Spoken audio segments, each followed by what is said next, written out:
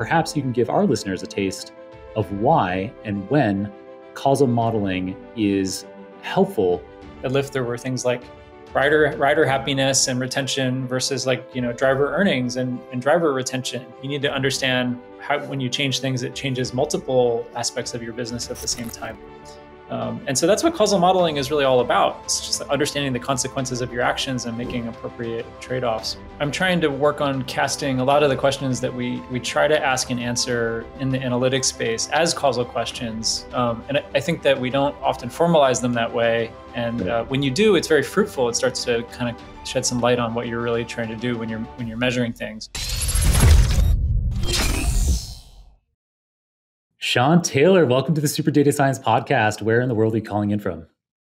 Thanks, Jon. Glad to be here. Uh, I am in my parents' house in Philadelphia, where I grew up. oh, up. No kidding. Uh, uh, so we're in the same time zone. I'm I'm in New York, and I was expecting you to be on the west on the West Coast. You're usually out in Oakland, I guess.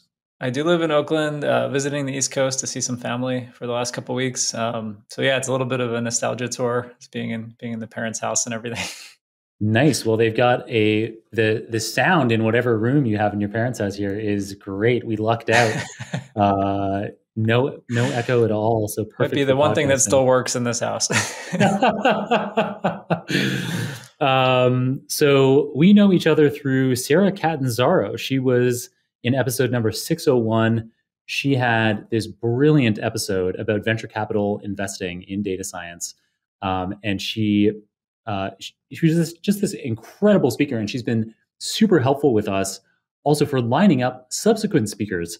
So a couple of weeks ago, we had Dr. Emre Kiciman on the show, whom I think you also are aware of. Um, I know Emre, yep. Yeah, so that was in episode 613. And then you and Emre and uh, another recent guest, uh, Jennifer Hill, in episode 607, you're all causality experts. So we've got this nice string. I think you're you're the third in the trilogy of causality experts. Um, I hope to um, say something novel after those two. You, you, know, probably hard to hard to follow those acts. Oh no, I have no doubt. Based on the questions that we have lined up for you, I know that you are going to be complementing um, all the causality discussions that we had in episode 607 and 613. It's going to be a lot of fun. Um, but before we get into uh, causality, let's talk about what you're up to. So, your LinkedIn profile has been saying for the last few months that you've been working on this quote unquote new thing. So, Sean, can you spill the beans for us on air as to what this exciting new thing is? I guess I, I set myself up to to have to reveal this today. it's been it's been really really tough not to tell people what I'm working on because I, I, always tell people like the you know the two joys in work are like doing the fun thing and then telling people about it, and I haven't gotten to do the second part for quite a while. So, yeah, a couple months ago, I, I joined a startup called Motif Analytics uh, as a co-founder. Um, and uh, I am the chief scientist at Motif Analytics. So uh, some people may have heard of us already. We, ha- we have a website and a few blog posts, but um, you know we're we're still building some awesome stuff, and I'm, I'm really excited about a further reveal maybe later this year and you know showing nice. what we've actually been doing. Yeah, congrats. It, the mm-hmm. website looks great. The product idea looks great. We'll talk about that in a second. The founding team looks great too. It seems like you're on to something big. So, how did you decide to work on this? You haven't worked at a smaller company like this before. So, why was now the right time for you? Well, I guess I've been thinking about joining a small company for a while, but you know, never really quite pulled the trigger. Uh, I, I, like big companies. I think it's fun to work with a lot of you know on a, on a well-defined problem with a big team and have a lot of resources. Uh, I think the thing I've always kind of wondered about is how fast you could move if you had way fewer people and you know you, had really high alignment on what you were doing. Um, and, mm-hmm. and working on some green space stuff was always really exciting to me. So uh, always had this little startup FOMO, and then uh, finally got to. Uh, now it's no longer FOMO. I'm not missing out anymore, um, and and it's been every bit as exciting as I thought it would be. I think it's it's just so much fun to have um, you know something that's not done yet uh, to work on. Like when I showed up at Lyft and Facebook, I think both of those companies are, had already been successful and were likely to be successful if I weren't there or not. But here, the work we're doing is like quite pivotal to you know to what what product we'll actually build in the long run. And so, what does the chief scientist at Motif do? What are you responsible for? Yeah, that's a that's an interesting question. I we, we, we, debated what title I would take uh, when I joined, and I, I, think chief scientist is a good one. Um, I kind of copied after Jure Leskovec is uh, is the chief scientist at his new startup, um, and I kind of was like, hey, you know, if he's a chief scientist, I think I, I'm doing a similar role. Um, we have a CTO and a CEO already, and um, so the product and engineering I think are really well covered uh, by Misha and Theron. And uh, I think that the, the question is like, what does science add beyond engineering? and the, the product that we're building really the target audience is data scientists and, and analysts. And um, in some ways i think i'm kind of like the voice of the customer so trying to make sure that i i channel those requirements. I've, I've been at these companies. I know how these people work. I really want to build the best tool possible for them. Um, but then also the tool itself is meant to impart like a really strong uh, opinion about how to do data science and analytics um, in a correct way and in particular the kind of um, infusing it with this uh, idea of that we're trying to answer causal questions for our customers, um, which requires a lot of rigor um, and being careful about you know how we present results to people. And so, in a lot of ways, I think of it as like if the, if we succeed at this tool, it will be like as if you had you know me helping you do your data analysis uh, at scale. So so we'll have lots of customers they'll be happy using the tool and they'll have correct you know results and be getting good causal inferences to the questions that they have Nice. So you're kind of chief customer. chief customer, uh, yes. and so, did you ever have any debate, either in your own head or with the founding team, about whether you would be chief data scientist or chief scientist? That's an interesting, like, it, it there's, I, there's, it's a subtle difference in a lot of cases, but I wonder if you spend any time thinking about it. Uh, you know, I, I guess I never really considered that, but was, I guess chief data scientist was maybe a little bit of a mouthful, and so we just yeah. went chief scientist. But yeah, I, I, think the the interesting bit is like, am I actually doing science? And you know, maybe maybe it is more like data science than science.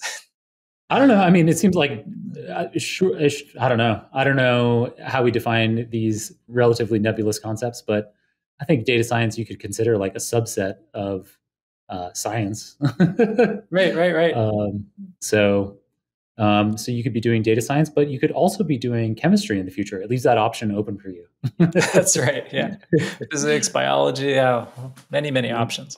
Nice. Room for um, future pivots. exactly. Um, so you mentioned that you will be answering causal questions there a little bit. So that kind of gives some insight into what Motif is doing. Um, you were saying that that's the kind of thing that you want your customers to be able to um, to be able to get to basically have you kind of in there uh, doing their analysis for them in an automated way and answering causal questions. But just before we get to causal questions, there's something about the kinds of analytics that Motif specializes in. And it's actually related to the name of Motif, which is yep. that the firm specializes in sequence analytics. So, how is that different from analytics in general? Yeah, I think uh, you know the, the major insight that we're we're trying to work around here is that um, when people are using apps and services, they generate sequences of events that capture in a really rich way what what they're doing while they're using sites and services, whether they're succeeding at what they're trying to do, you know, where they might be encountering some friction or, or bad user experiences. Um, and that, like a lot of tools and techniques, aren't really able to work with sequence data in a native way. Um, and frequently, they're kind of compressed into metrics. So we're, very good at like counting things and taking averages, and you know, making kind of like a, a time series plot of like how many people are doing certain things. Um, but then in this disaggregated form, actually, there's much richer information available. Um, and most of it just gets discarded. So, you know, in a lot of ways, uh, probably one of the biggest potential unlocks for a lot of these teams is being able to use more of the data that they're already collecting. Um, and this kind of like log event data is very common in practice, but but frequently when people work with it, they kind of have to flatten it into cross sectional form first. And so uh, I think we're we're really working on kind of defining what this space looks like, but it has a lot of potential because it's, it's kind of a middle ground between time series data and cross sectional data. And time series data is sort of like aggregated around the time dimension and we're capturing like aggregate over many people. And then cross-sectional data is like aggregated over time into the user dimension and so we get this like slice in time. Um, and so is there a middle ground between those two things that can kind of get us the best of both worlds? And, and i think the answer is yes.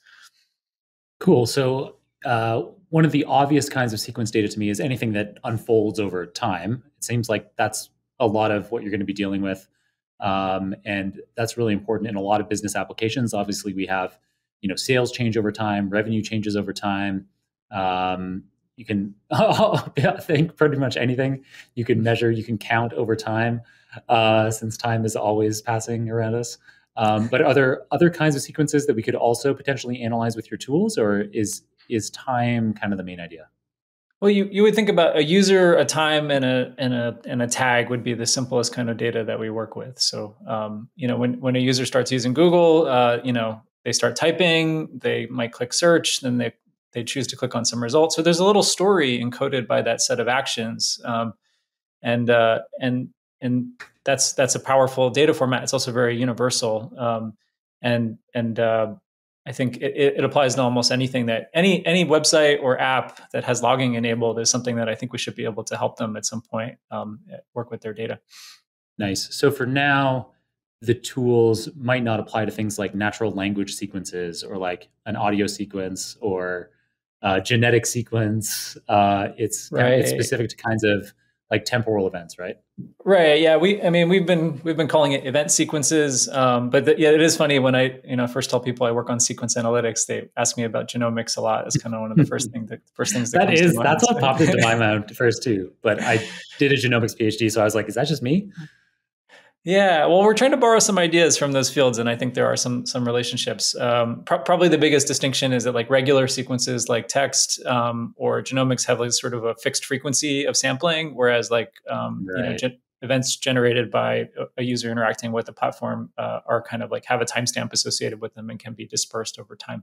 Mm-hmm.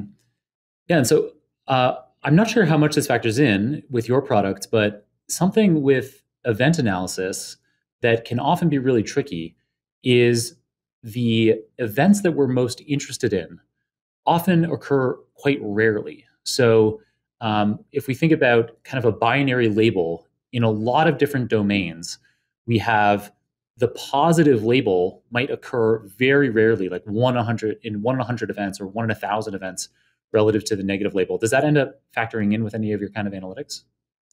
Uh, I mean, certainly we're very interested in kind of you know drilling down into very specific situations uh, that users might be in when they're using a product or service, um, and and yeah, those situations are often quite rare, and they're defined by sort of uh, certain patterns of behavior, like you know, clicking into a deep, deeply nested menu or deeply nested funnel and so, yeah, I think there is a kind of rareness problem that that we encounter, and and that's why we work with this very disaggregated form of the data. It's sort of we're we're assuming that the interestingness is happening kind of in the corners of your app, and we'd like to kind of help you find that.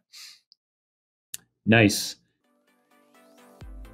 Today's show is brought to you by Datalore, the collaborative data science platform by JetBrains. Datalore brings together three big pieces of functionality. First, it offers data science with a first class Jupyter Notebook coding experience in all the key data science languages Python, SQL, R, and Scala. Second, Datalore provides modern business intelligence with interactive data apps and easy ways to share your BI insights with stakeholders. And third, Datalore facilitates team productivity with live collaboration on notebooks and powerful no code automations. To boot, with Datalore, you can do all this online in your private cloud or even on prem. Register at datalore.online slash SDS and use the code SUPERDS for a free month of Datalore Pro and the code SUPERDS5 for a 5% discount on the Datalore Enterprise Plan. And so now it's finally come time for a topic that we're going to be talking about a lot throughout your interview, which is causality. So you have this impressive background in causality. What's the relationship between this causality background and this sequence analytics that you're now getting into at Motif Analytics? Right. Um, so the probably the most important relationship is that I, I, think I'm trying to work on casting a lot of the questions that we we try to ask and answer in the analytics space as causal questions, um, and I, I, think that we don't often formalize them that way. And right. uh, when you do, it's very fruitful. It starts to kind of shed some light on what you're really trying to do when you're when you're measuring things. Um, and so there's there's sort of like what I would call like forward and reverse causal questions or causes of effects and effects of causes.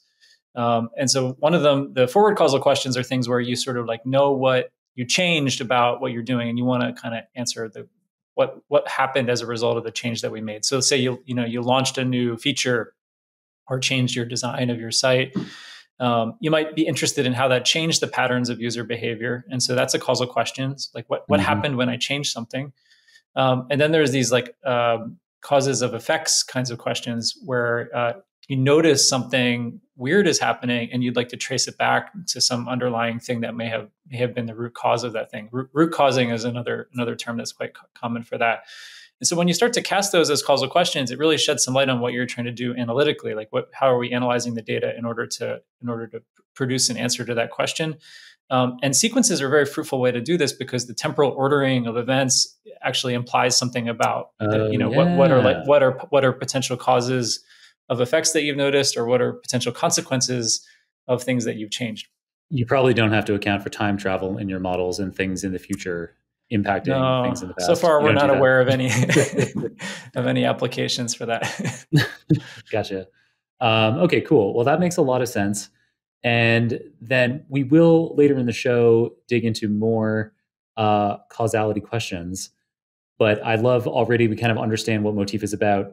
These causal questions allow us to not just um, get reports on sequence data. So we don't just have the what, we have the how or the why. I think that's kind of the main idea of how causality is being applied uh, in Motif. I, I, love that summary. Yeah, the why is really what we're trying to get at. I think that's the most important thing that often people are looking at. And, and we are trying to draw a pretty strong distinction between a lot of uh, analytics tools are mainly focused on this reporting use case. And, um, and I think we're, we're focused more on the, the cause effect relationships um, and, and that's that's what we think is more actionable for people and, and, likely to provide more benefits plus the reporting and counting things space is already really well covered and i think we have lots of great tools there already nice yeah that makes perfect sense um, so yeah so we will come back to uh, causality again later in the show um, we'll just put a little bit of a pin in it for now to talk mm-hmm. a bit about this specific transition that you made to Motif Analytics.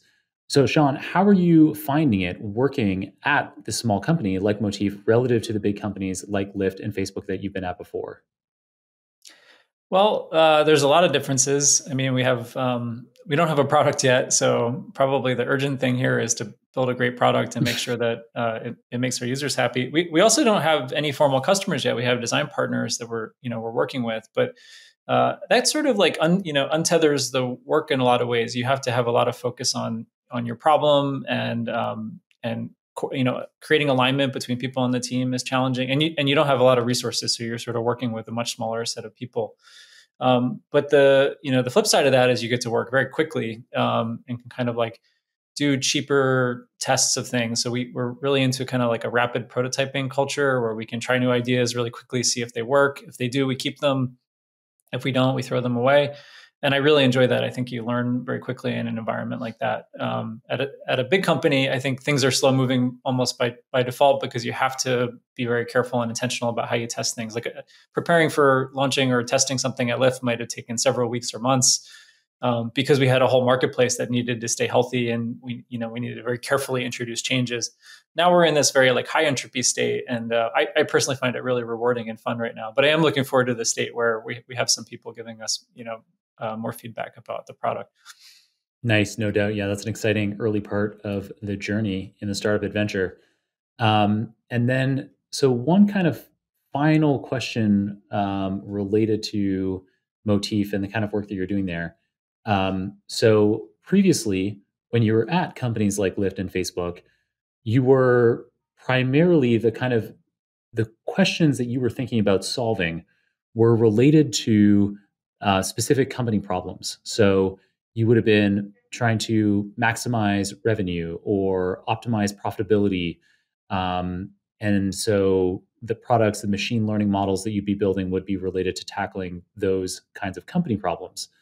But now, from my understanding of talking to you before we started recording, at Motif, you have this perspective of thinking about it from the user's perspective. So you're in that, you're wearing your chief customer hat and you're thinking about what would my customer most need. So you're thinking about it, you're building tools for people instead of just tackling a specific company problem.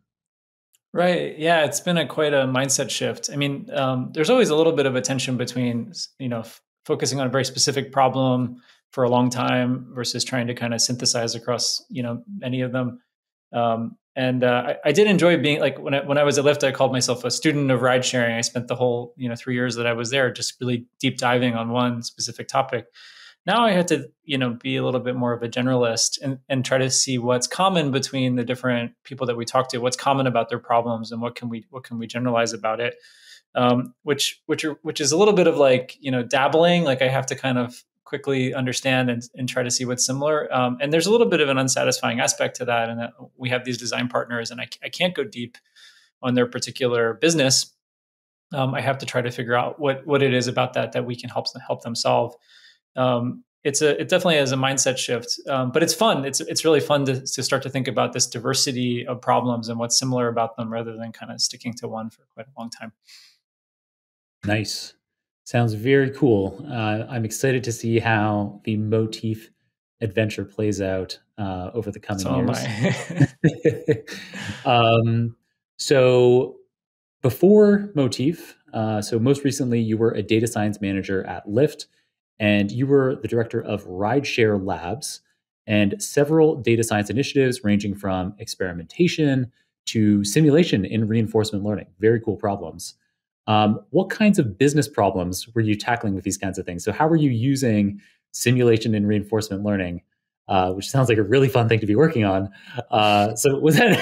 it seems like the kind of thing that I might, if if I was there, I might be like, all right, I really want to be doing uh, reinforcement learning simulations. Uh, how can I come up with some kind of commercial objective to apply it to?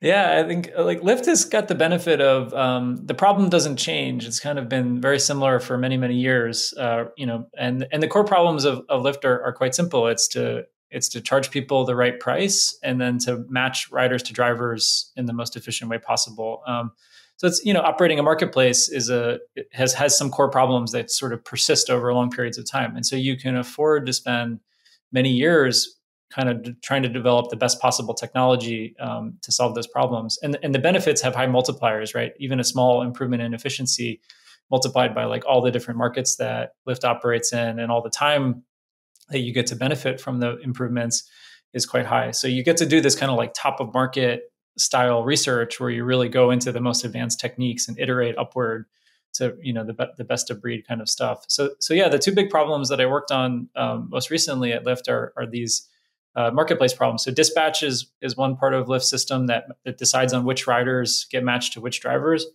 And it's a it's a gigantic gigantic design space. I mean every single time you know you make a request with lyft there are many possible drivers that you could be matched to. And um, each one of those match matches is a potential world that Lyft could live in, and some of those worlds are better for that rider, and some of them are worse for that rider, and but they have consequences for the rest of the marketplace as well. Um, and mm-hmm. likewise with pr- with pricing, you know, increasing in uh, or lowering prices uh, contributes to an individual rider's experience, but then has these spillovers on other people by taking up drivers or relocating drivers into different places. Um, so it's such a complex system that um, you know simulating things and trying to understand things from that perspective is a is a very fruitful way to, to to try to understand it. But also running lots of experiments and trying to you know try new things in a controlled way and see what you can learn from uh, you know running a different version of the Lyft algorithms in contained situations. Um, that is super cool. So something that maybe you were even involved in, something that is a relatively recent development, at least from my experience in New York on the Lyft app is that for a very marginal price increase, like a dollar, I can get this like priority. Um, I can uh, like I can be prioritized, and they often write in the app. It'll you know it'll say what the difference is, and some it's often saying like, okay, I could get a car in four minutes with the priority, pay an extra dollar, or get a car in five minutes without the priority. But in practice, I find that when I spend that extra dollar, I get a car right away. Like it's like a minute. Yeah. um, and so i tend to do it because uh, i'm like is is a dollar worth like five minutes of my time? Or like did i get to like be at this first date five minutes early as opposed to just on time? And like that like level of relaxation is definitely worth a dollar to me. So i guess it's those kinds of problems like figuring out you know can we make this marketplace um, more efficient by allowing people to have more options um, and experimenting with those kinds of things yeah, it's. Uh, I mean, what you're describing is is kind of a classic uh, Lyft product idea, which is sort of to try to figure out who's willing to be patient and wait, and who's who is in a hurry. And you know, without having that option, we don't really know. Lyft can't decide, and so they can't match the closest driver to the person who actually is the most impatient. Mm-hmm. And you know, you by willing to pay a little bit of a higher price are revealing that you're in a hurry and you need to be somewhere more quickly, or that your time is more valuable to you than to other riders. Um, and so there's there's there's ways in which that's helping the marketplace be more efficient by sort of like um, letting letting somebody who's willing to wait wait a little bit longer, and then there's a little bit of slack created by that. So yeah, yeah, there's lots of fascinating product ideas that can be tested, and they all have huge marketplace implications. And even like deciding whether it should be a dollar or two dollars or two dollars and seventeen cents or whatever is yeah. also sort of a policy decision that Lyft has to decide. Yeah, yeah, and it's like dynamic. It seems like it it depends, I guess, on uh, rider and car availability. It seems like it doesn't seem like it's a fixed difference. Well, right. No, no, no. It's it's probably not. And there's a there's an algorithm that decides it, and that algorithm has parameters. And choosing those parameters to make the market the most efficient that it can be is a is a pretty tough problem. And that's what I spent a lot of mm-hmm. time thinking about. cool. Um, so, uh, as a data science manager there at Lyft, uh, clearly with the kinds of sophisticated modeling, reinforcement learning simulations you're doing, uh, you need a solid foundation both of the right people uh, clever data scientists that can do these kinds of advanced uh, simulations, for example. And you also need great systems. So, in order to run these kinds of experiments efficiently, um, to be able to gather the data that you need, um, and then I imagine with things like a simulation, you know, even having um, the the reinforcement learning environments easily available and usable by the people who need them. Um, yeah, I guess uh, um, what key investments does an organization need to make um, in order to reach that kind of great solid foundation that you had at Lyft? Um, like what kind of yeah, what kinds of things could uh, listeners be doing at their own company to be building to that same kind of um, great foundation that Lyft has? Yeah, that's a it's an excellent question. I mean, and I, and I wouldn't say that we were we were totally succeeding in all those things at, at Lyft, but I, I w- I'll tell you what we were trying to do. Uh, number one is yeah, an investment in platforms, and you know recognizing when you have a problem that's not going away, and making the requisite investment to solve it in a way that's good in the medium and the long run. In addition to like you know, sacri- and you sacrifice something in the short run to do that. Building a platform means waiting you know months or years until something's ready, and then you know that you have some trust that when you hit the point where your platform is mature, that you're going to get all the benefits from that. Um, so we worked on this, you know, Bayesian optimization system for our experimentation platform where we could introduce these continuous parameters and run experiments that would vary those in a rigorous way and, and converge toward the better values. And you know, it takes it took over a year to until we were running like experiments like that at a high at a high bandwidth. Um, and it was because we had to make a big uh, long term investment up front. Right. And part of that isn't just the technology; it's the culture of kind of acknowledging that um, that these long term projects are the future of the company and they, they pay a big long term dividend. And so you have to kind of pay a lot upfront. And so you have all these people working on things that you're not going to benefit from in the short run but that like leadership is okay with that and you're willing to reward people and you know keep them incentivized to, to do projects like that it's hard at tech companies because i think people often want to have this like six month review cycle where a project is successful within six months and people get you know get promotions and get bonuses and raises within six months or a year. And sometimes these problems are just like fundamentally more difficult than that. Um, and that's culture. I think you just need to sort of you know keep people uh, eyes on the long term prize. Um, and then doing that while you know you have a short term business that is very volatile. I mean like lyft is a company where there's like there was covid while i was there and so a lot of people stopped right. riding lyft and right. that is something that you feel like you need to immediately drop everything and respond to but if you keep your eyes on the long term you say like hey three or four years from now covid will be over and we really wish that we had built this platform um, uh, so the culture was a big part of it as well also i guess the, the third thing would be like assembling the right people which is a really hard problem it's like oh, what yeah. complementary set of skills do you need to solve problems like that and like yeah like you know reinforcement learning researcher from a top university would be a great person to add the Lyft but they're not going to be super productive unless you have somebody who really understands the engineering or the you know the idiosyncrasies of the data that are being produced by a company like Lyft. So you just you need like such a diverse set of skills um, to make projects like that work. Nice Trying to create studio quality podcast episodes remotely used to be a big challenge for us with lots of separate applications involved. So, When I took over as host of Super Data Science, I immediately switched us to recording with Zencastr. Zencastr not only dramatically simplified the recording process, we now just use one simple web app, it also dramatically increased the quality of our recordings. Zencastr records lossless audio and up to 4K video and then asynchronously uploads these flawless media files to the cloud. This means that internet hiccups have zero impact on the finished product that you enjoy. To have recordings as high quality as Super Data Science yourself, go to zencastr.com slash pricing and use the code SDS to get 30% off your first three months of Zencastr Professional. It's time for you to share your story. That was an awesome answer. I'm so glad that we had that question to ask you. Um, yeah. And uh, so, sticking with Lyft, but going back to what will be our recurring theme of causality. Um, so, as with all the rest of your career, it seems, uh, a theme throughout your work at Lyft was the application of causal modeling. So, several of your talks and podcast appearances detail this subject. Um, perhaps you can give our listeners a taste of why and when causal modeling is helpful beyond just having an understanding of the correlation between um, two variables.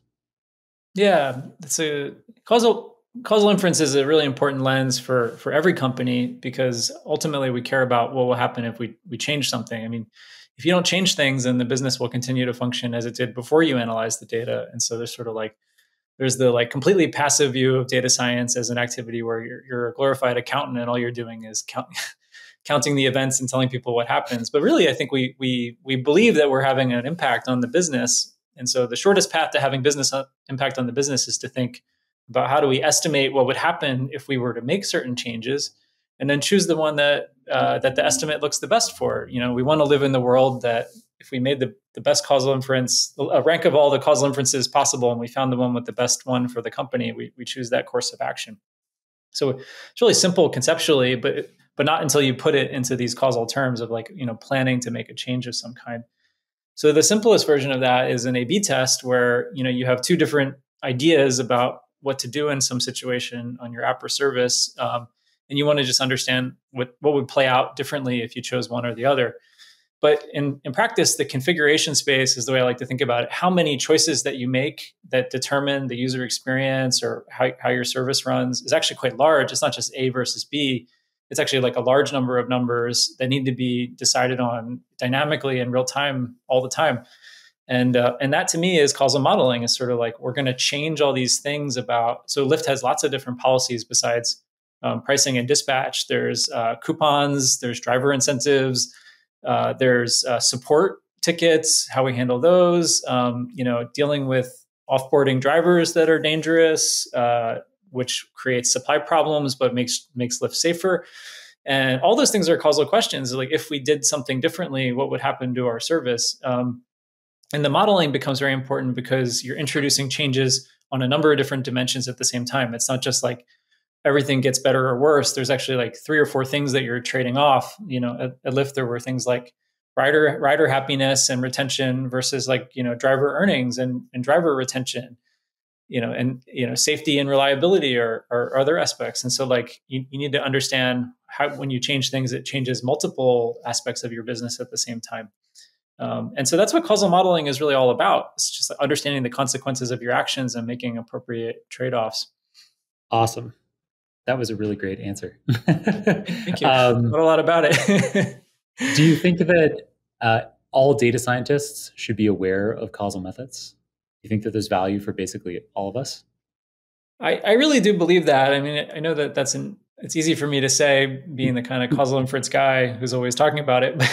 but I, but I do think that um, often what we're doing implicitly is, is causal. I saw in, you know, your Jennifer Hill interview, is, I think she said something similar that like, we're, we're, making, we're implicitly making causal conclusions. So why don't right. we just make them ex- explicit and try to actually right. estimate the causal effect that we care about?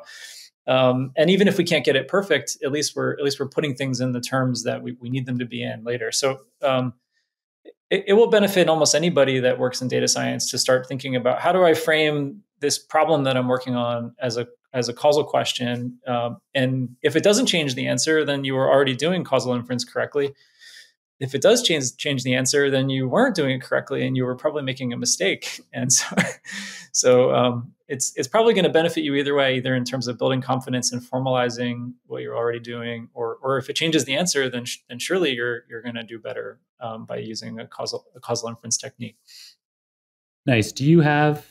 Uh, so uh, up next, we'll end up talking about Prophet, a famous uh, Facebook causal prediction uh, tool that you were involved with. But uh, beyond Prophet, are there specific causal modeling tools or resources that you highly recommend to listeners? Yeah, this is a great question. Um, people often ask me for like you know book recommendations and, and stuff like that. So uh, Probably the one that I'm most excited about is uh, my friend Robert Ness has a new book coming out on Manning, um, and uh, I, I have I've only gotten to read like a little bit of a preview. He's I don't think the entire book is done yet, but uh, that's that's a book that I recommend checking out. I think that like causal inference and causal modeling is less about like a, a particular set of tools or methodologies than it is like a holistic way of thinking about um, solving solving problems. It's kind of like we use a number of different tools to do causal models, but you can do a causal model with linear regression um, or, or with just like measuring measuring me- two means and subtracting them is a valid causal inference technique.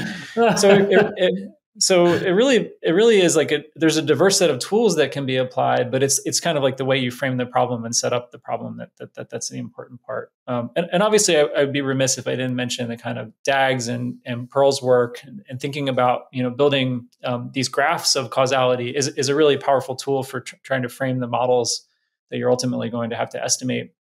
Um, but also experimentation is a big aspect of causal causal modeling. If, you know, the best way to create a causal estimate is to actually run an experiment and do do some randomization. And that's a whole other set of methodologies that's like what I would call design based data science, where instead of analyzing data that's already been produced by someone else, you're designing the data mm-hmm. that can answer the question that you need to answer. Um, and so that's another methodology that I recommend people become very familiar with. Um, so yeah. it's just like it's like ten different things and and nothing, I guess. uh, that latter methodology, where you're really being thoughtful about how you design your experiments, that seems to be Professor Hill's um, preferred way um, about thinking about causal problems. We talked about that a lot in her episode, in episode number six hundred seven. Um, in contrast, um, Emre, uh, Dr. Kiciman, in episode six thirteen, it seems like he uh, he thinks a lot about the DAG, so the directed acyclic graphs um, that allow us to um, explicitly identify how we think different variables are related to each other, and then allow the data um, to bear out in that DAG.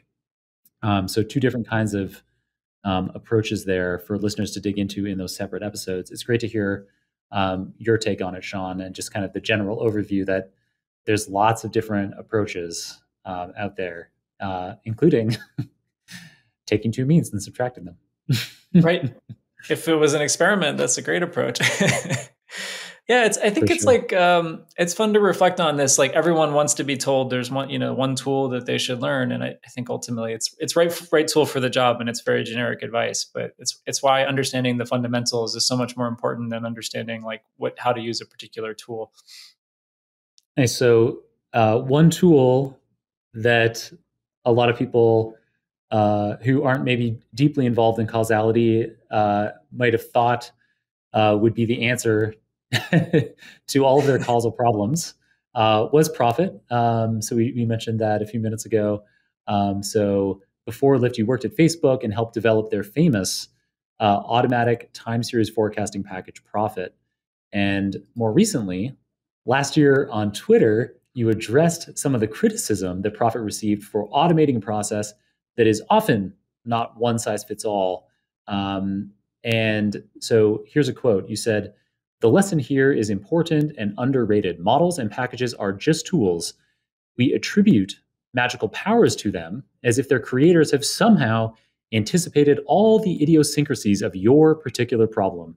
It's unlikely that those creators have uh, thought, anticipated all those idiosyncrasies, and there's no substitute for evaluation. And this was that kind of point is something that Professor Hill brought up a lot in episode 607 as well, which is that um, it, I, am going to butcher the quote here, but the kind of the concept that she was describing is that um, that there are no true causal tools.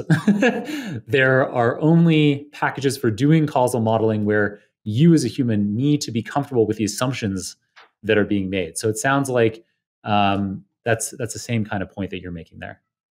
Yeah, I think um, we always have to interpret any any answer or number that a model or anything else spits out within, the context of how how it was created. Um, and uh, and di- diagnostics are the are the way that we do that. We sort of like pay close attention to does it produce answers that make sense in, in situations where I know the answer um, or where where it could have been known what the answer was, and then then you build confidence through through doing that over time.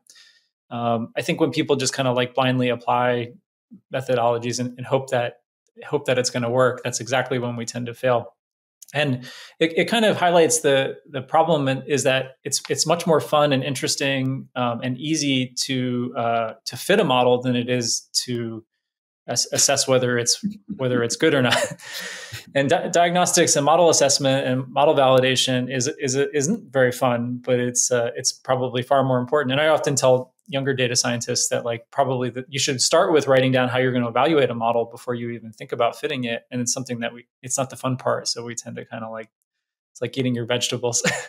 we, we tend to eat eat eat dessert first in data science a lot of the time. right. Um, yeah, we come into this job for the fun, not the data cleaning. no. Um, I want cool models. Um, so, do you have any thoughts on how the data science community can disrupt this tendency that you're describing for conflating tools, especially maybe seeing a single tool as a one size fits all solution to their specific solution? How can we? Yeah. Yeah. One of the one of the things I've really been enjoying seeing are these kind of like packages or projects that uh, t- make accessible many different methodologies simultaneously. You know, for for benchmarking or comparison on a, on a on either on the same problem or on a set of problems. Um, and uh, academics kind of sometimes produce these review papers or you know comparison type papers. Um, I think that this is this is a very valuable thing for us to be doing. Is saying like, hey, we have a variety of tools that have all been developed for the same problems. Let's just like compare them in some fair environment and try to try to do some benchmarking. Um, so the people who build like benchmarking or tool comparison tools um, are, are, are doing great service to everybody because they make it easier to facilitate you know lear- learning about the properties of these algorithms um, in across a wide variety of of, uh, of potential use cases.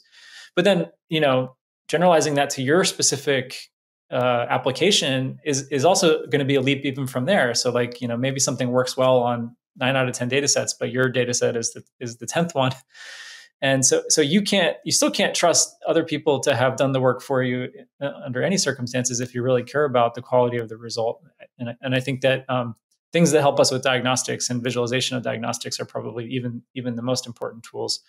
Um, so th- those are what I think we should be focusing on as a community and kind of like help rewarding people for finding problems and for fixing bugs and for helping to assess things um, rather than anybody can develop a new methodology. I, th- I think that's relatively easy. Um, it's just like whether whether it's good or not um, is is a really hard question to answer and it takes a long time. So um, people that help us come to some consensus about what works and what doesn't are probably doing the most important work. Mm-hmm. So now working at Motif, do you end up spending time thinking about this kind of like so how uh, yeah like how can how can the platform how can the Motif platform be providing causal insights but also in a way that's like responsible right yeah, uh, yeah, that, it's a great question, and it's something that I'm I'm kind of grappling with right now. Is uh, how can we make sure that users get good results even if we haven't seen their data before? And I, it, the mm-hmm. real my, my most honest answer is that I can't guarantee that. Um, right. And I I think that the best way forward is to be honest about what you you know tool, tools that degrade gracefully when they don't know the answer are probably you know a good approach to that. So for, forecasting is a good example. If you if you make a forecast it's okay for your forecast to be wrong. Almost all forecasts are wrong, but you should be honest about how uncertain you are about forecasts that are likely to be wrong. So the uncertainty intervals, confidence intervals for those forecasts could be quite large, and that's a way for you to be kind of uh, intellectually honest, even if you're willing to make a make a prediction. Um, so with Motif, I think you know part of our part of what we can do is uh, convey our uncertainty about things through how we visualize data and how how we show it in the tool. Um, right And then I guess our other our other kind of secret weapon here is we're mainly focused on what I would call um, hypothesis generation rather than hypothesis testing. So the burden of proof is a little bit lower when you're when you're looking for uh, opportunities or explanations. It's not like um, you're going to bet the farm on those particular uh, inferences that you make. They're they're just to help point you in the in the right direction. So so for instance, like finding a bug, it's okay to have a really high false positive rate for finding bugs because uh, mm-hmm you know missing a bug is so expensive. So and then so like if you if you find like 20 candidate bugs and one of them turns into a bug that's a perfectly reasonable outcome. Um, whereas if it were like you know ship this thing 100% of the time is the is the conclusion that we're that we're making and we're being really forceful about that then that can that can lead to a lot of bad bad problems. So so i think there's this kind of like loss function piece to this which is that it's it's okay to generate hypotheses as long as you follow it up with a more rigorous study. And I, I think we're often for uh, within Motif, we're focused more on hypothesis generation than on like directly telling people what they should do. Nice. Yeah, it's actually it's interesting that uh, data visualization was part of your answer as to how we can avoid making misleading causal assumptions.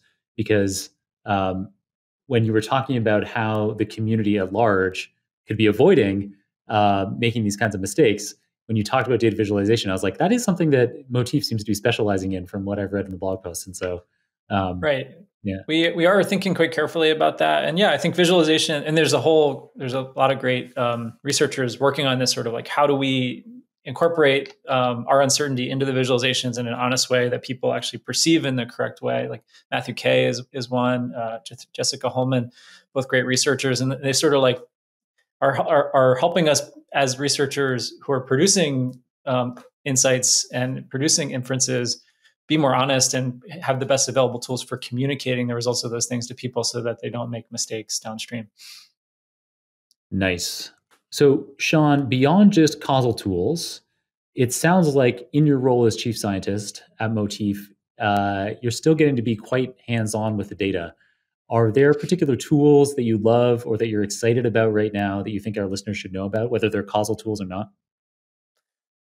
Uh, good question. Um, I'm trying to think if I've had to use anything new. I mean, we're we're building tools from scratch, and so there's there's a little bit less using tools and more building them. Um, well, then, I mean, even just kind of telling us a bit about that, like uh, if you're comfortable with it, telling us, you know, what kinds of programming language decisions you make when you're building a platform like motif right. from scratch?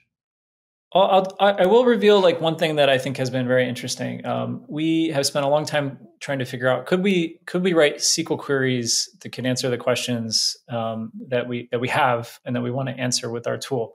And the answer has been after many times of trying that that we probably can't, and that SQL is not very expressive language for the kinds of questions that we have with sequences. Um, mm-hmm. and it's it's for like a kind of interesting reason. The relational model sort of assumes that you have this like fixed width output, whereas like sequence data has an irregular um, irregular uh, shape to it. Um, you know, like the, the, answer to what sequence uh, you get from a query could be like any length, and so SQL is just not equipped to um, return answers like that.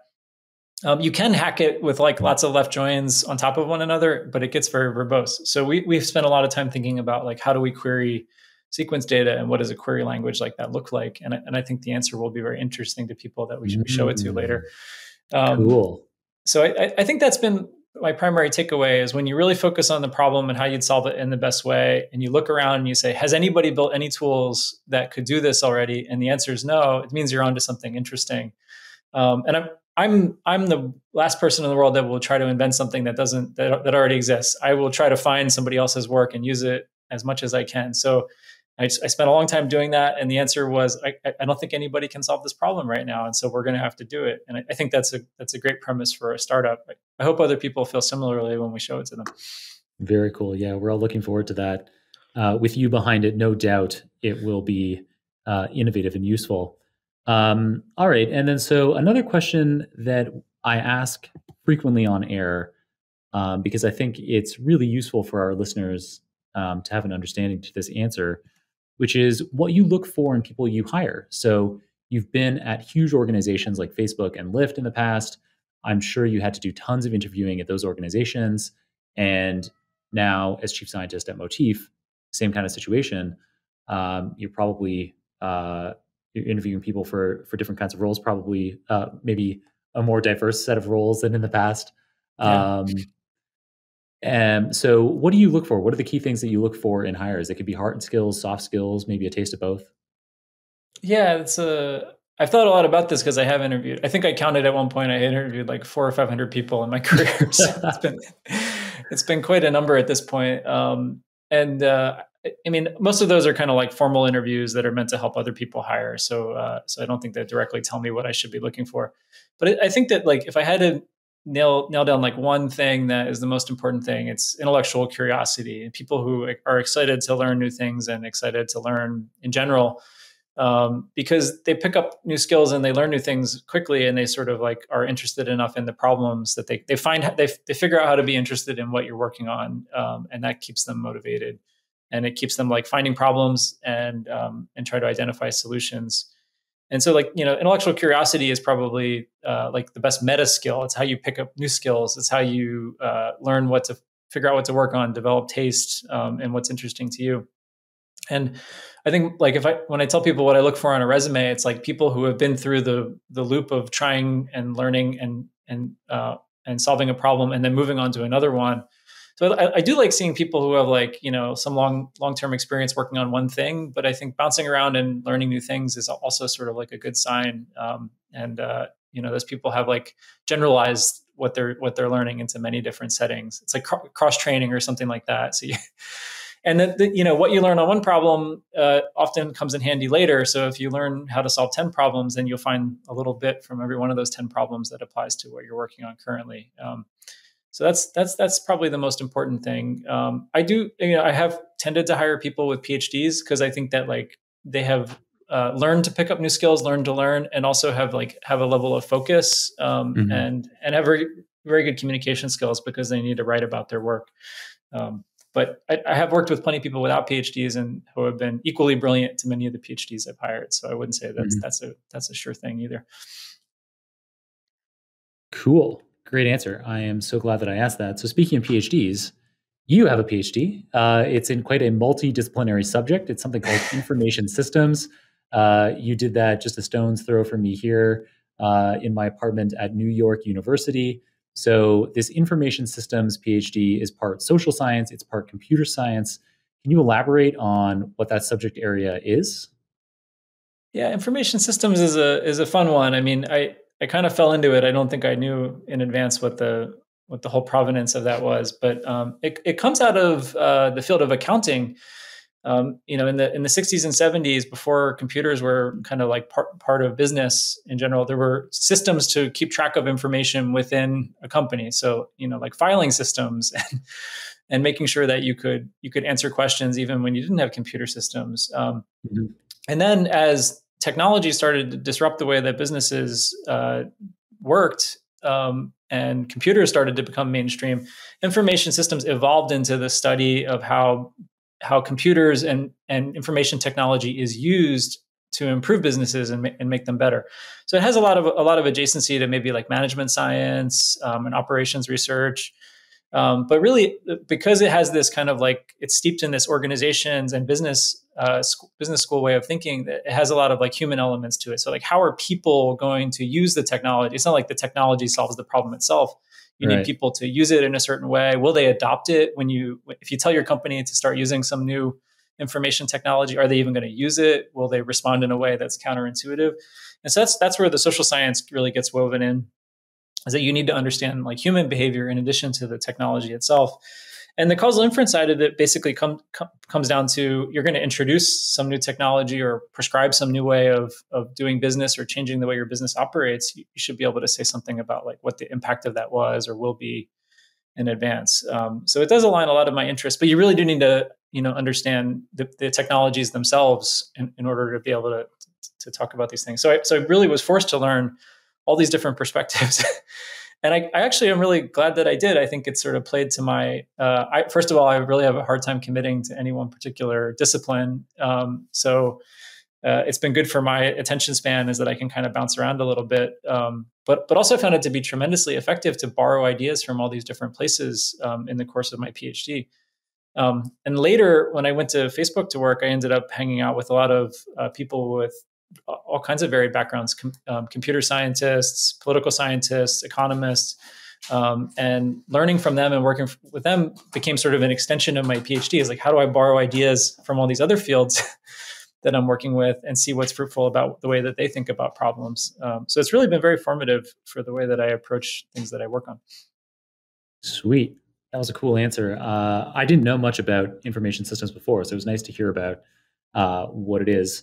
Uh, it sounds like a great uh, focus for learning how to apply computer science in the real world, which is what you've been doing right. in your career since at right. Facebook, at Lyft, and now at Motif. So sounds like you were doing the right thing. yeah, you, I mean, you never know, like uh, whether you just tell the story that it sounds like the right thing later, yeah, or if it yeah, really, yeah. really was the right thing. But I, I think for me, it, it, worked out great, and I'm very proud of uh, having studied that topic. Um, but I, I, feel like it was just the start. Like you know, some people think like a PhD is like the you know the end of your intellectual life, and I, it was really the start of seeding this idea of like st- studying, being a student of the world, and you know tr- treating things. I treated like you know my first few years at Facebook as like a new PhD and I'm I, i am I'm treating this kind of like startup life as like a new PhD that I'm starting. Is how do I how do I get like immersed and really become an expert on the topic of building a successful tool that lots of people want to use? Yeah, I mean, this is the thing that I love, and probably a lot of our listeners love about the field of data science is that it's endless. Like in our lifetime, you could never hope to capture one percent of the data science expertise out there, especially since more and more people are getting into it and more and more papers are being published. And so, yeah, you can dig really deep into specific kinds of problems. Um, and yeah, as you're saying, be now onto like your third or fourth PhD yeah. um, and still just be getting started. Uh, yeah, and still fun. be and still being like energized by it. I think is the important part. It's like you, do you still feel like that's motivating for you? And and for me, it still is, and I'm I'm really thankful for that. Um, but yeah, you're right. It's like you could do if you're doing data science your whole life, you'll never get to stop. Like I'm, I'm fully trained. I think you're never stopped training actually. Mm-hmm. And uh, and it's cool how we have the wind at our backs with respect to the kinds of applications we can be excited about because there's more and more sensors collecting richer and richer data all over the world every year and it's cheaper to store those data than ever before it's cheaper to compute with those data than ever before. Um, people are sharing modeling approaches uh, as open source GitHub in you know exponentially more all the time, and so it is this it's this really cool career at a really cool time. Um, so we uh, when we have big guests like you coming up, I post on social media that I will be hosting you. And so I made a post on LinkedIn and Twitter about a week ago uh, relative to uh, when we're filming. uh, and um, and your post had a huge amount of engagement. So people were really excited to hear from you. Uh, over 12,000 impressions on the LinkedIn post, um, a couple hundred reactions. And we had a great question for you from Douglas McLean. So Doug is a lead data scientist at Tesco Bank. And he says, it would be great to hear what views Sean has about Judea Pearl's work on causal inference and on his book, Causality. It sounds great, but I'm not really sure how practical this book is in a business setting. I read something Andrew Gelman wrote about it along the lines of I couldn't find anything wrong with the book, I just never found it was useful to me. Uh, and Doug acknowledges that he's probably uh, misquoting Andrew Gelman there a bit, um, but that that was kind of the sentiment. Um, so Andrew Gelman, for listeners who aren't aware of him, is one of the world's best known statisticians, and uh, Jennifer Hill, uh, whom we've talked about a number of times in this episode, she has co-authored a lot with him, including on a couple of iconic books. Um, so yeah, Andrew Gelman is definitely somebody in the field to be, to follow. Um, and his opinions uh, carry a lot of weight, as Doug is suggesting here. So, um, uh, so that's that's one thing for you to address. If I haven't already said too much for for your uh, working memory, uh, Sean, mm. we've got one other little bit to it, which is that Doug found it interesting that Jennifer Hill never mentioned Judea Pearl in the entire uh, episode of Super Data Science, and so I guess yeah, he says that he found that confusing. yeah, I have I have like a lot to say about this, but I, will try to keep it more succinct. But so first of all, uh, to give like full transparency, is I I'm a huge Andrew Gelman fan, and I've been reading his blog for a long time, and um, you know just a huge fan of his work and his perspective. Um, and and I have read Judea Pearl's work, and I've gotten into many Twitter debates with Judea Pearl. And, you know, you know so Great, I didn't know that so yeah so and and you know Judea Pearl is a brilliant researcher and his work has been foundational to the field and it's and it's extraordinarily valuable work. Um, i think that the the problem with his work isn't that it isn't valuable it's it's that it's just a piece of what you need in order to be a practitioner who solves causal inference problems so it, it, I think it, it's sort of like um, sold as something that solves all your problems for you, but it doesn't really have a lot of empirical content. Um, and we're, you know, someone like Jennifer Hill and Andrew Gelman are used to working with data in the real world and trying to answer mm-hmm. problems as a practitioner. And so I, I, think they've found some value in, in Pearl's work, and, and I would bet they draw DAGs and, and think about, you know, what what identification criterion that they're using on a regular basis. But it's just such a such a small piece. I mean, not a small piece; it's an important piece. But but there's so many other problems that are interesting about causal inference uh, that are all like kind of needed to be solved. In addition to that, that I, that I think um, you know Pearl's work can seem a little bit trivial in, in comparison to those other problems. Like you know, Pearl often sort of ignores the problem of where you where do you get the data from in the first place, and do you have the ability to intervene or run an experiment? Um, right. And, so ignoring human agency in the in the production of the data that we use to create insights is is really silly to me. It's a big limitation of of that perspective. Is sort of like living in a fixed world where your job is to model it and try to answer questions the best you can with the data that someone already gave you. Um, so Pearl's great. Gelman's great. I think it's just that like it goes back to my I think you need to know 10 things to do causal inference, not one. and and so there's no one tool off the shelf that's going to be here's your causal inference tool. Yeah. And, and, and I think Pearl might might want really want you to use his tool and, and you probably will, but there are lots of other ones uh, that you're going to need as well. And so that could also your answer could explain why Jennifer Hill might not have needed to talk about Judea Pearl because there's lots of it it it doesn't surprise me that one causality practitioner would need to mention uh, uh, another specific practitioner. Like there's so, as you say, there's so many different ways uh, to solve causal problems, and especially when you think about the ways that they're doing things. So, as we heard in Jennifer's episode, she has this focus on how we design experiments, and when you're designing experiments carefully from the very beginning, you, like you're saying, you could be using the difference between means to come right. up with a causal answer. You don't need uh, you know complex modeling? Yeah, we we tend to focus on um, solving problems that are feasible, which means that the DAGs are often um, simple, uh, and and that's so. And, if, and with the simple DAG, I think Pearl's work isn't particularly useful because it's it's something that like can be solved, you know, through uh, you know different other ways of thinking about it that are easier for people to reason about.